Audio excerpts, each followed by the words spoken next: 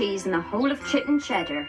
So come on. The quicker you finish planting, the sooner we can all enjoy it. Mm. Yes, Mrs. Hodgepodge.